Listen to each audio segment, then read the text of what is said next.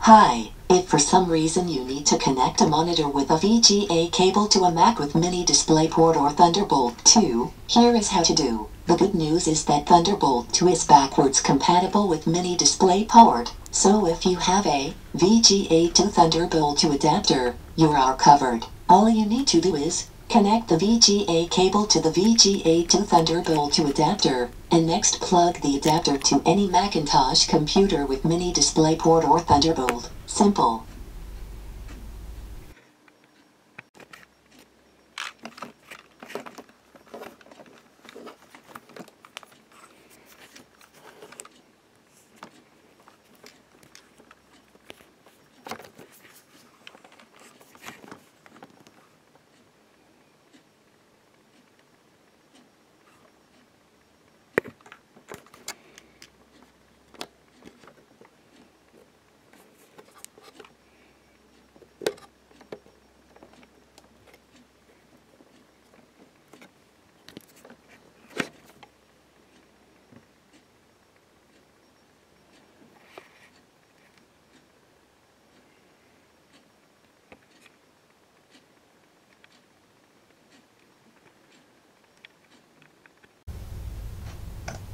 If you would like to see more videos related to Macintosh computers or Apple products in general, please go to my channel, Addicted to Macintosh, and look at the playlists. There are many videos on many different Apple products, including MacOS High Sierra.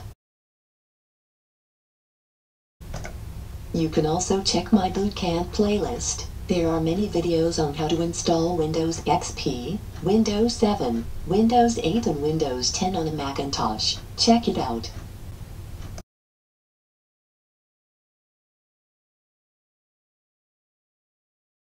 To Macintosh YouTube channel. Hundreds of Apple related videos uploaded. Thank you for sharing, subscribing, liking, and viewing.